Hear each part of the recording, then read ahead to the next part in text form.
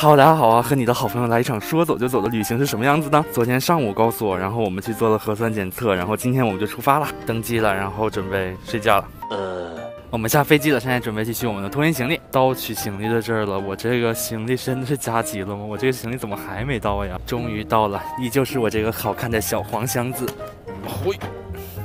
坐了两个点的地铁，我快散架了。然后现在来酒店办理好入住，啊，应该是这边。哎，第一次看到这种插卡的酒店，为啥打不开呀？给你们看下订的酒店，这个是厕所，我特意选了一个有浴缸的啊。这个浴缸有点小，不过没关系，有浴缸就挺好的。